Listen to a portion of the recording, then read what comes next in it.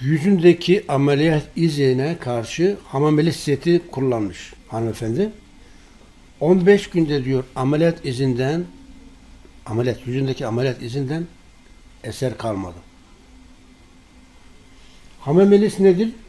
Hamamelis virginiana özel bir üretim. Tabii ki sadece hamamelis yok bunun içerisinde. 10 çeşit bitki ekstraktı var.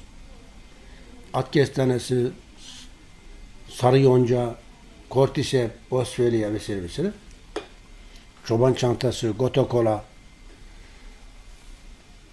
Vatandaş 15 gün kullanıyor ama sadece hamamelis değil. Burada aloe vera var, iksir var, komple set var.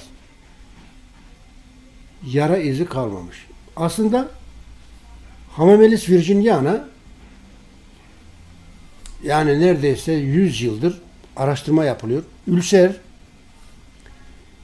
varis, hemoroidin her türü birinci, ikinci, üçüncü evreleri karşı birçok doktor tarafından denenmiş, etkisi ispatlanmış sedef, eksema, akne, liken, liken, planus gibi cilt hastalıklarına karşı, fistüle karşı vesaire vesaire. Mesela bunlardan birisi Steinhardt ve ekibi hemoroid hastasını tedavi etmiş. 70 kişi. Svobodo Maya ve ekibi atopik ekseması olan hastaları tedavi etmiş. Moore, James ve ekibi ise ameliyat sonrası birçok insanda fantom denen mesela ampute oluyor ayağı veya kolu veya bir yeri yani uzuvlarından biri herhangi bir kazadan veya şeyden dolayı orada ağrılar, sızılar oluyor. Bu ağrılara, sızılara karşı ameliyat sonrası yayları iyileştirmek için hızla kullanılıyor. Vesaire vesaire.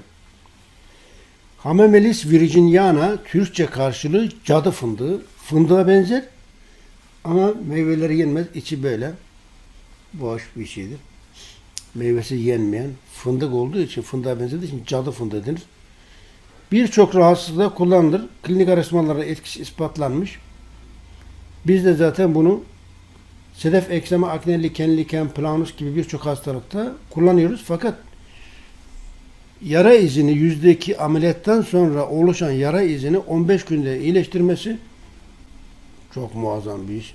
Buluş yani hamdolsun. Öyle bir mükemmel bir etkiye sahip.